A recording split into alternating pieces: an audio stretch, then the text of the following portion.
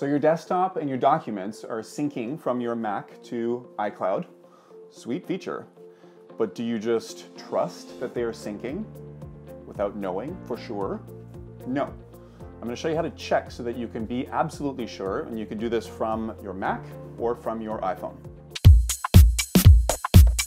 There are three places that you can check to see if iCloud has synced your stuff. Uh, the first one is to just go to the Finder and then click on iCloud Drive on the left sidebar and turn on the status bar. So you go to the View menu and say Show Status Bar. And that's going to show you in the bottom here what iCloud is currently doing. So it says it's uploading 60 megabytes out of 800 megabytes. So we know it's going to be a little while until that sync is complete. The second thing you can check is if you go to the actual iCloud website. So just open up a web browser like Safari and go to the iCloud website. It's www.icloud.com and type in your email address, which is your main Apple ID, and hit login. Uh, once you type your password, you'll be prompted to do the six-digit code from the two-factor authentication, and you can say allow for that, and then type in the numbers, 418300.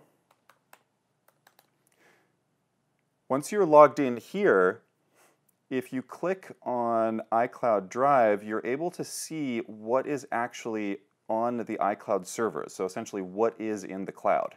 You can go into your desktop and you can see the things that are on your desktop you can see that this matches exactly with what's on my desktop.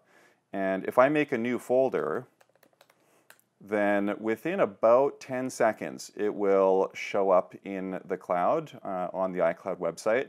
And uh, it doesn't take long. Uh, the thing that can take a while is if you save a photo or a video or something like that onto the desktop, and it takes a little while to upload that to the cloud then that can be an issue and you need to just be ready to wait a little bit.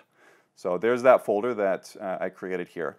Uh, the third way of checking if iCloud is syncing is from your iPhone. So if you just grab your iPhone and go into the Files app, uh, from there click Browse in the bottom right, and then click on iCloud Drive, and you should see your desktop and documents uh, folders are there. And if you just tap on desktop, then you're going to see the folders that you've uh, created and everything that exists on your Mac desktop uh, from your iPhone.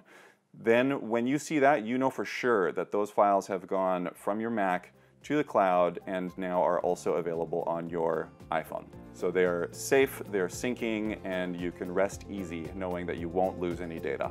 Boom, Mac Epiphany. If you want professional one-on-one -on -one help with the tips in this video or with anything else in your Mac lifestyle, head to macinhome.com to schedule a consult. Mac Epiphany. That's a wrap. Done. Stop the sound. Clap. Sound.